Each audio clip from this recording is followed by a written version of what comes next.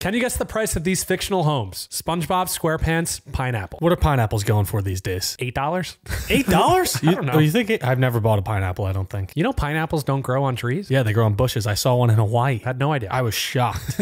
I have no idea. I eight ninety five. Fifty-five dollars. What? Yeah. Well, I guess it's carved out and there's some It's stuff also going uh, on. Not there. a great location in the middle of the Pacific. No, yeah. Barbie's dream house. That place is a mega mansion and it's right on Malibu. I would love to live there. It's a great spot. It's got to be over five mil. I'm going to say f- 5.8 million. uh, decent 16 million. All right. 16 million. What about Family Guy's house? So Peter Griffin's house. That's like the most average house I've ever seen in my entire life.